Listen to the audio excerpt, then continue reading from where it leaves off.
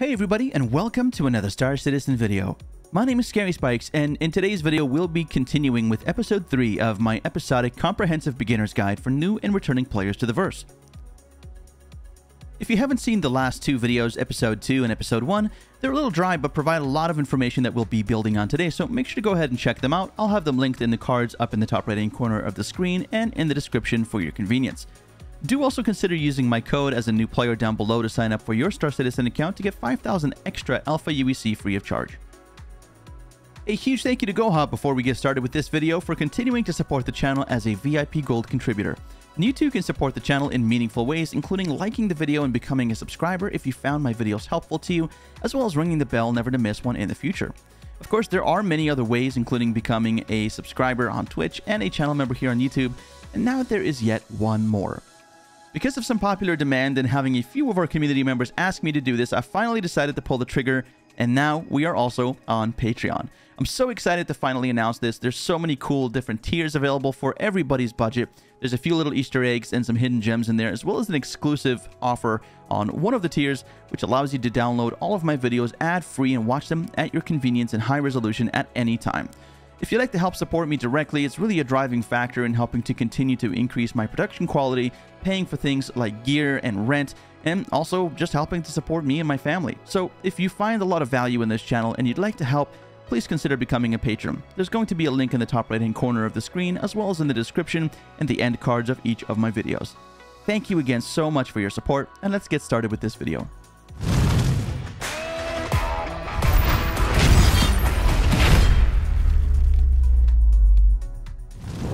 Okay, so let's go ahead and get started and pull out one of our ships. And in order to do so, you'll need to access one of these ASOP terminals. These can be found at any of the orbital stations. As you can see, we're currently here on Everus Harbor, just above Lorville, above the planet of Hurston. But you're able to access these at any of the other major stations as well as any of the other landing zones available in the game at the moment. So simply walk up to them, and if you remember from the previous video, you can go ahead and hold F, and that's going to allow you to interact by using the left mouse button and this is your fleet manager window. So you're going to be able to scroll down and up to manage your fleet here and uh, you'll be able to see all of the ships that you have and this is indicative of any ship that you may have purchased either in the game with Alpha UEC, which you might not be at that point yet, uh, or also and more specifically any kind of ships or vehicles that you may have pledged for on the RSI website, which you may have done so if you were following from the very first video. So you'll see that we have a number of different ships available, and there are some categories. I'm just going to very quickly explain this to you before we get going. Of course, you can use the chaptering and the timestamps in the description below to go ahead and jump to any part of the video that you find helpful. Right, so on the left-hand side, we're going to see that we have the name of the vessel. That'll show you, of course, the, the full name of the ship that you're looking at. You're going to have some information here, so it's going to tell you whether the ship is stored or impounded, or whether it's destroyed. It's going to also show you the location. The status is not too important. This may change down the road, but generally speaking, it doesn't change very often, so nothing to concern yourself with at the moment. The focus is going to tell you basically the focus of the ship in itself. So for example, this one here, the MPUV personnel is a passenger ship. Then we have uh, this one here, which is the Banu Defender, which is classified as a light fighter and so on. So this will give you uh, sort of an indication as to what each of the ships does, and this can be really helpful for newer players to identify what they're best used for, especially during something like a free fly event that we had very recently. Now you're going to see this thing up here as well that says cargo. This is going to show you how much cargo is currently on board, but not necessarily how much cargo the ship is capable of carrying. Something to distinguish there and keep in mind. Now you're also going to see a crew here. So this is going to show you the uh, the crew of the ship. Naturally, you can have less or more. In most cases, you want to, of course, have at least one to be able to actually fly the ship. But you can also have more. So if we scroll up, for example, we see that on this Redeemer, we have a crew of four. You don't actually even need a crew of four. You need a crew of three at the bare minimum, in my opinion. But you can have a maximum uh, or an average of a crew of four to best use that particular ship. Now you're going to have uh, some different uh, buttons here on the right hand side. Uh, don't pay any mind to the track button. That does not do anything at the moment. But you are going to see one of two buttons mainly and predominantly it's going to be the retrieve button which is going to allow you to retrieve the ship from storage. And if you can see here, we can see that we have our Andromeda here, which was actually a rental and hasn't gone away yet.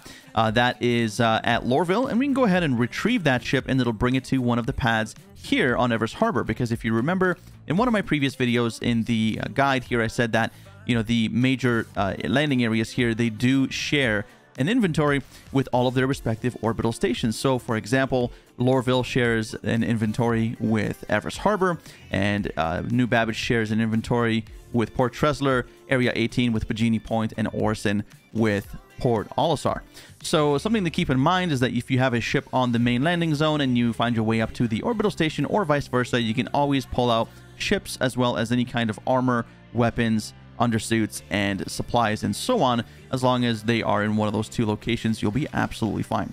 Now you might notice that we also have a claim button here. If we go ahead and click on this, it's going to show us a different screen. And this is basically the vehicle insurance screen. So all vehicles in the game at the moment at least have lifetime insurance. And I know that might be a little uh, confusing because there are different ways, different types of insurance that are sold with different types of vehicles on the RSI website when you're making a pledge. So you might notice uh, that some vehicles come with six months insurance, some come with 12, some come with 24, some come with 120, and some others, very, very few of them these days, come with lifetime or LTI. What that means is that once the game launches, that is when those insurance contracts kick in, and that is how long you never have to worry about ever losing your ship because all you need to do is go ahead and click on the claim button and it's going to make an insurance claim on your ship, returning it back to you. Uh, sans cargo, of course, we'll talk about that in a little bit. And uh, it's going to have all of the different components that it had on it previously before it was destroyed or you know something bad happened to it or before you forgot that you left it on the other side of the system and you simply want to claim it because you don't want to fly all the way there. So this is actually a pretty good example of that. Now, unfortunately, I'm not going to be able to fly back to HDMS Anderson because I've left the ship there in a different session. I very much doubt that it would continue to stay there because we don't have that level of persistence just yet in the game. We can see that we have the name of the vehicle, where it was last left, and how long it's going to take to deliver it once we file a claim. If we click on the button to file a claim, we're going to see a few things. First of all, the timer is going to start climbing uh, down all the way until zero, at which point we'll be able to retrieve the ship at this terminal at this station. And then we also have the expedited time, this is how much time is going to be have to elapse before we can do the same if we decide to pay the expedited fee, which you can see is here. Now, as the time reduces, the fee also reduces. So if it's a matter of emergency, and you absolutely need to pull your ship out sooner than later, then you can certainly pay the fee. Uh, it's not really a huge amount. I really wish the ASOP terminal wouldn't do that, by the way. Um, but you see that if we actually go back, you can see that we do have an option to expedite. So if you have an expedite button, it does uh, mean that your ship is going to be delivered very soon.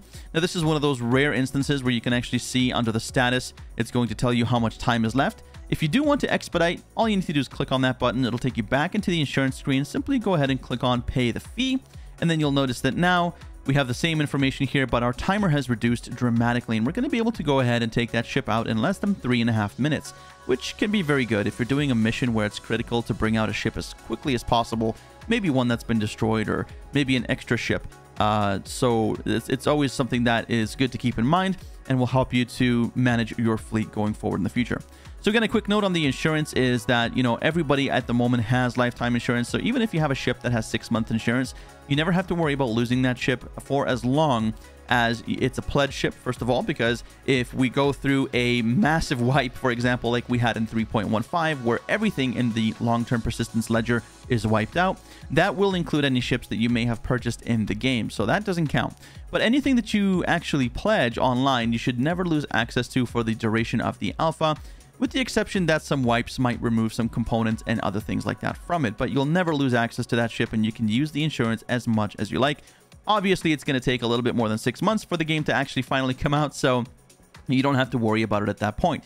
Of course, uh, lifetime insurance is a very, very attractive offer for once the game actually comes out, but you do need to take advantage of it before that happens in order to carry it over into the retail release of the game. So I have another video that I can link for you in the top right-hand corner of the screen, which will explain a little bit more about LTI. Uh, but in the meantime, we're just going to go ahead and move on and take out one of our ships and go and do some combat and some basic navigation. Excuse you, good sir. I'll see you on the other side. All right, so let's go ahead and take out the uh, Redeemer here. We're going to go ahead and click on Retrieve, and when you do that, you're going to be met with a little bit of a wait, and then the ASOP terminal is going to tell you which pad or hangar you're going to go to. So in this case, it's going to be pad number 6. Always press F4 and just double check that you're wearing a helmet because running outside into space with no helmet is only going to end with bad news bears, so you want to make sure that you have a helmet on board. Now uh, we're going to go ahead and head over to pad 6. Okay, so as in the previous video, we're going to press R uh, to make the ship flight ready. And you can use the F5, F6, F7, and F8 keys to manage your power triangle, which you can see under the power tab. Now, we don't have the power tab open, so I'm going to go ahead and switch over that uh, to that in the MFD here. We're doing this again, holding the F key and zooming in and out with the mouse wheel. We're going to go ahead and left click on where it says menu, and we're going to go ahead and click on power. All right, so this is your power triangle, and it's very similar to that of the Elite Dangerous power triangle uh, and your power distributor in that game if you've uh, played that game or you're coming from that game. So you'll notice on the left-hand side of the top left-hand corner, we have one for weapons. In the top right, we have the shields, and in the bottom center, we have the thrusters. You can move this around by simply left clicking and holding, but generally speaking, the best way is you can simply use your F5, 6, 7, and 8 keys to change things around. Of course, you can bind this to your HOTAS as well if you have that. F8 is going to be your reset button, so it'll always center everything. F5 will start to skew your power to your weapons, F6 to your thrusters, and F7 to your shields. Generally speaking, I like to have the uh, weapons and the shields at 50 each, and very little too, if any, on the thrusters, because generally I don't really use a lot of boost, especially with larger ships with many turrets on it like the Redeemer. Plus, we have two size 3 shields, which are definitely going to be able to hold up to some of the firepower that we're going to be facing today, so I'm not really too worried about having to run away just in case things go south. Now everything else seems to be pretty normal. I typically like to have my target screen on the top, so we're going to go ahead and change that too. And this is what I really like about being able to uh, modulate or uh, mod modularize, if that's even a word. It is now your MFDs, which is really cool because we get to change the way that we have things displayed. So we're going to go ahead and put the target up there, which of course is going to display our active target once we have one. And then down here, I'm going to go ahead and put on the self status. And then over here, we don't really need the comms panel all that much because we don't really need to call the station to get away from it. We just need it to land, and we can always do that through the F11 menu. So I'd prefer to have this MFD on something else, and usually for that, I prefer to have my shields here. So that's it. Pretty simple. We've got our shields, we've got our power on the left-hand side, our target, and our self-status on the right-hand side, and of course our radar in the middle. Okay, so the next thing I want to talk about are fire groups, and fire groups are pretty interesting. You can go ahead and change them very easily using the MFDs in your ship. So you can go ahead and click on the menu there, and then of course you want to go down to where it says weapons and click on that go over to your guns and then you can change your fire groups from a 0 to a 1. Unfortunately, at the moment, we only have two fire groups. If you have one set up, you can't set up an additional one, unfortunately, like you can in Elite Dangerous, um, but I'm sure that eventually this will be fixed. So what you can do with this is you can set a set of weapons to fire on a particular mouse button. 0 is left mouse button and 1 is right mouse button. So if we leave these all at zero, you can see that if we press the left mouse button, it's going to fire all of our weapons at the same time, indicated by this menu on the left-hand side of the UI panel. And then if we change, for example, our CF447 Rhino laser repeaters to a 1, that's going to mean that our 337s are going to be on the first mouse button, and our 447s will now be on the second mouse button, and again, as indicated by the UI. I personally like to have them all on exactly the same button, unless I have very different types of weapons for different types of applications, or I'm flying a ship with an EMP in it that forces me to have one button for the EMP and the rest for my weapons, because unfortunately we only have two fire groups. So we're currently hanging out in Arial's atmosphere on the Redeemer, and I want to take a moment to talk about the different fire modes available to you on pretty much any ship in the game. In order to understand how they work, though, you need to understand the differences between fixed and gimbaled weapons. Each has advantages and disadvantages, and I'll explain a little bit here, but I'll also include a video in the top right hand corner of the screen that gives you quite a lot more depth and information about it. So what's the big difference? Well, fixed mode, as you can see here, includes a weapon of a particular size being mounted to a mount, which is basically right on the chassis or hull of the ship, which is also exactly the same size. So in this case, we have a size 4 weapon mounted to a size 4 hardpoint on a ship. Now, the advantage to this is that you're using the largest weapon that you possibly can for the ship, and that means that you're doing about as much DPS as your piloting skill can allow. Of course, the downside of that is that your piloting skill does come into effect as you need to aim these weapons by maneuvering your ship. Now, of course, you can also use gimbals, which are much easier, especially for new players, but they have their downsides too.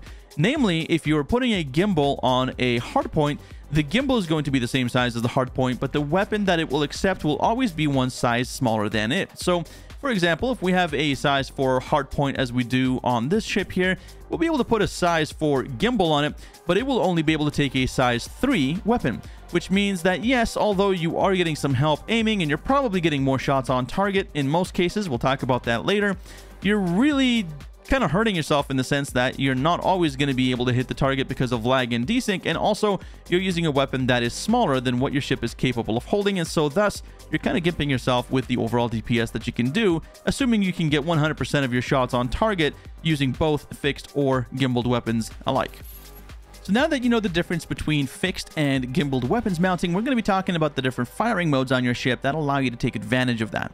So first of all, we're going to go ahead and take a look at the first mode. This is going to be your bore sight mode, and then you can switch modes with the G key over to the gimbaled mode, and then finally to the assist mode. We'll talk about each of these uh, for a few minutes. So the very first one and my favorite one is the fixed mode. Now note that this is going to fire all of your weapons regardless of whether they are fixed, gimbaled, or turreted in a bore sight configuration, meaning they're going to be fired straight ahead directly into the middle of this tiny little crosshair here and uh, you're going to be able to lock that up with the trailing or leading pips of a target in order to predict its trajectory to be able to hit it effectively.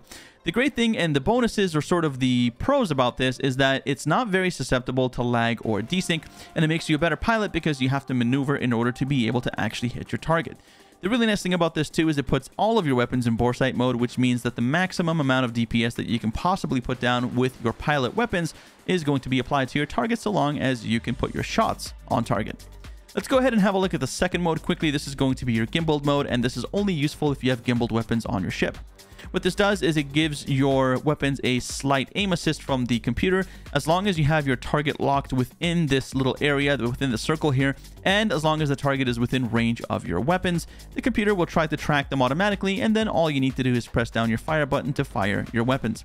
The pros to this is it makes it a little bit easier to uh, fire on targets in a fast moving environment. Also, if the targets happen to be a little smaller and more maneuverable than you are, it does make things a little easier in that regard as well. The downside, unfortunately, is that it is extremely susceptible to lag and desync, especially with more people in your party, which is something that I found to be a problem, especially recently, and also with just generally more people on the server and with a lot more traffic happening on the network. So this is really going to be a very unreliable way to try to more accurately hit targets, which I know sounds a little bit like an oxymoron, but that's because it is. And honestly, for those reasons, I really would not recommend using this or any gimbaled weapons at all. The final mode is going to be our fixed mode here, and this is really the most interesting of the two. It's a bit of a hybrid mode between the two because it does allow you to shoot some of your fixed or all of your fixed weapons perfectly straight. As you can see, we actually have a smaller crosshair and a larger crosshair. So in this uh, kind of a hybrid mode, what's happening is all of your fixed weapons are being fired directly in bore sight mode as in the very first mode that we looked at, straight ahead into this little crosshair here. But in the larger crosshair, what that's doing is it's slaving any weapons that you have on a turret that you have access to on a turret, uh, or and or any kind of gimbaled weapons as well. So if we take a look on the front of the ship here, we can see that we have our weapons on the far side. So on the port and the starboard side of the ship under the wings, we have our size 4 fixed weapons. And on the very front, we have a remote turret with size 3 weapons which is actually slaved to the pilot, and that's why we're able to fire it so long as nobody is sitting in the seat uh, that controls that turret inside of the actual ship. Now, in this mode, we're actually able to move the turret around while we're also moving the ship. You can see the maneuvering thrusters are moving around as well. And then we can basically fire on other smaller ships with the smaller turret as opposed to maneuvering the entire ship in order to be able to do so. So the benefits to this could be that for smaller ships, you could have a better chance of hitting them as they're making a strafing run on you, but honestly, the downside is it's just way too inaccurate to try to hit two different targets at the same time, one with fixed weapons and one with an articulating weapon. And for that reason, I just don't think it's worth it. Especially not since in this kind of a ship anyway, we have turrets uh, that are on the bottom and the top of the ship respectively. And so you really don't have to use this mode because your gunners are going to be able to do it for you automatically. All right, before we get into combat, let's just quickly talk about the missile operator mode. And if you want to see a full-fledged video on that, go ahead and check out the link in the top right-hand corner of the screen. I did a full video on this in 3.14.1, and it is still very, very much up to date. So it'll give you a lot more detail than we'll be covering here. This is going to be just the basics to get you started. So, middle mouse button will get you between your guns and missile operator mode. And it's important to note that you can't do both at the same time. The only exception to that is if you're in a multi-crew ship like the Constellation Andromeda, for instance, you can have your co-pilot manage missile operator mode for you and fire missiles and lock targets while you are handling the guns of the ship. Other than that, you have to switch between the two, but honestly, it's not a big deal. Over on the right hand side, let's take a look at some symbology really quickly. We have the Dominator missile here. This will be the name of the missile that you currently have equipped, and you can change it simply by pressing the right mouse button. We only have Dominators on board, so we're not going to be able to show you that, uh, but it'll be uh, very easy to see in this area here once you press the right mouse button if you've got different types of missiles available, like for example on the Harbinger. The number here in Roman numerals is going to denote the size of missile that you have available. And so in this case, we can see we have a size 2 missile. We have a little green bar here. The green bar shows you that the missile is ready to fire and it is good to go. We have a number over here just to the left of this little icon. The number shows us the amount of missiles that we have left uh, and it's specific to the missile that we currently have selected. And then so is the little icon here, which will show you the type of missile that you currently have selected. And the lightning bolt in this case shows us that it is an EM or electromagnetic missile. For some basic controls, you can simply press the G key to queue up multiple missiles. And just keep in mind that uh, none of the missiles that are currently queuing in a white bar as it's building up to green are actually going to fire. Only the solid green ones will fire. And what's kind of cool is you can also dumbfire these without having a lock if you really want to. Not sure why you'd want to do this, but you can and you can pretty much get into some crazy shenanigans with it if you're creative. So that is the basics of the missile operator mode. Let's go ahead and get into the contracts manager and find us a fight. All right, so let's head into the contracts manager. We'll go ahead and find ourselves a quick mission to do to demonstrate everything that we've learned so far. So we'll press F1 to get into the mobiGlas, and then down here you'll see that we have a tab for Contracts Manager, so go ahead and click on that. And anytime that you're doing any kind of bounty hunting, you'll find any of your bounty hunting contracts right over here, but you'll also want to go into Mercenary and pick up this mission called Call to Arms. Basically what this does is it gives you extra money, which is especially good at the beginning for each kill that you get, and this doesn't matter whether it's a player or a NPC, as long as they have a crime stat on them, you'll get more money for the higher amount of crime stat that they have. So if they have a level 5 crime stat, you'll get 1000 UEC a pop, a level 4 will get you 700 UEC, and so on. I'm not sure why level 1 through 3 is all the same, I think they should definitely change them, but I digress. Let's go ahead and accept this quickly. And then we'll go ahead and go back into the general tab under the contracts manager, go into the bounty hunting, and then we're going to go ahead and pick ourselves a bounty. And it looks like this light risk target will be a pretty good victim for showing off everything that we've learned today. So we'll go ahead and click on that and click on accept offer, and then we can simply get out of the mobiGlas. Now you might notice that we have a mission marker, but in this case, it looks like we don't automatically have one. So if that happens to you, go back into the contracts manager, simply go to the accepted tab, go to your contract and just make sure that it's tracked, which uh, you'll know it's not if, if it says track here. If you click on track, it'll change to untrack, and then that means that the mission is actually tracked, and you'll be able to see this little icon here denoting that you are currently tracking that mission. Now, if we get out of the contracts manager, you should be able to see towards the top of the screen, we have a little diamond and with an arrow showing us where the actual uh, mission is. So now all we need to do is head over into our map by pressing F2. We'll go ahead and double click on Hurston to uh, zoom in on the Hurston subsystem and all of its moons. And then we're going to use our mouse wheel to zoom in on Ita, which we can see we have a uh, mission over there. So we'll double click on Ita to make things a little easier. We'll use the right mouse button to move things around. You can use the left mouse button to move things around this way. And then we'll simply uh, hover over this little uh, target location here and click on that. And then we'll click on set route. And then as you can see on the left hand corner of the screen here at the top, we'll see that we have our route set. It'll show you how much quantum fuel you're going to use. This is the total amount of fuel that's required, and this is the total amount of fuel that you have on board. If you run out of this, you will be stuck in space, so keep an eye out on that. Alright, so it's time to get going. We're going to go ahead and line up with the first waypoint, and we'll press B as in Bravo to engage the quantum drive. And you'll want to make sure that you are using this crosshair to aim as opposed to this. It's really, really confusing, especially for new players, so always make sure that you're aiming at the waypoint with the crosshair and not with this thing. Now, the quantum drive is going to go ahead and spool and calibrate. As long as both of those are complete and ready, you are good to go. And you can hold B to get yourself into quantum drive. All right, so we're just outside the target area here. The target's about 14 kilometers to our 12 o'clock here. And uh, before I go in, I usually like to get a few things set up just for myself. So first and foremost, I want to make sure that my power distributor is where I like it to be. And that in most cases is going to be 50% to power and 50% to weapons with 0% to thrusters. I don't typically boost a whole lot and this thing is really good at boosting efficiency anyway. So I'm not really going to need this until I need it. So I'm just going to keep the power distributor this way for now. Now, the other thing that I'm going to do is I'm going to make sure that I am in my missile operator mode since I like to sling some missiles before I engage with guns since typically the missiles have a longer range. So we can use those to kind of beat down the shields of our opponents a little bit before we engage and finish them off with guns. Lastly, we're going to take a look at our uh, available decoys and noise. These are going to be our countermeasures. And what's pretty cool is that you can uh, use H and J to deploy them. But if you hold H, you can actually queue a number of decoys at, at a certain time so we've got 4 queued there, and as soon as we let go of H, that's going to let those decoys go, and they are going to try to fool any missiles that are coming towards us. The noise is pretty good in trying to prevent the enemy from targeting us to begin with, and honestly, these things should just be called chaff and flare. I have no idea why they have called them noise and decoy. It just doesn't make any sense, but hey, that's what it is, and that's what they're used for. Again, uh, decoy is your H key, and noise is your J key by default. One thing that you can do here too is if it's particularly dark, you can use the tab button to do a pulse scan and that's going to highlight any kind of rocks that are in the vicinity, which will make it a lot easier for you not to broadside one of these things with your ship and end up calling it a day before the uh, fight is through. So one of the other things to keep in mind as well is that it's usually going to take about uh, 10 kilometers or, or, so out from your target before you start to notice them, unless they're really big. So if they're in like a Corvette uh, or, for example, a frigate, then you'll be able to see them quite a bit further out since their uh, signature is going to be quite large.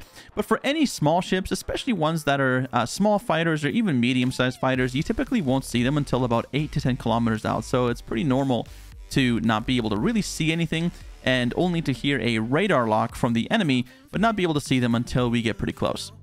So we'll continue to move closer, and as you can see there, we have uh, what looks like a target. You never want to shoot them while they are white. You want to wait for their, uh, their pip to go red.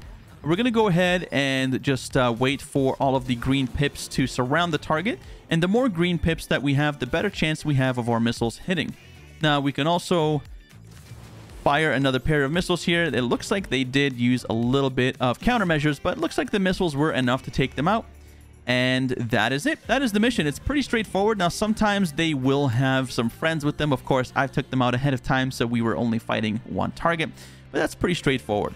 Now, of course, uh, you can also shoot with your guns. If you get close to them, there will be a pip that will appear on the screen and uh, you'll be able to just follow the pip and get some shots on target. That'll take care of them as well.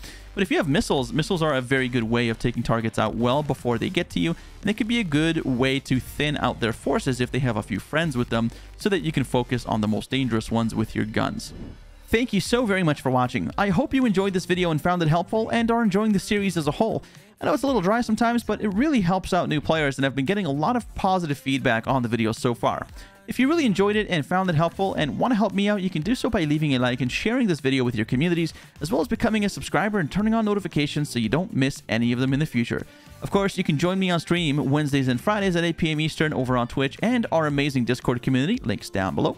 And of course, if you'd like to go above and beyond, you can become a patron now, which is awesome. We have all sorts of different tiers and some goodies available for everybody. Make sure to swing by our Patreon page and consider becoming a patron. Your direct support really makes a big difference in making this channel better and helping me to better myself. So thank you for your support, and I hope to see you in the next video. A huge thank you before we get... Oh, fuck off. Are you kidding me?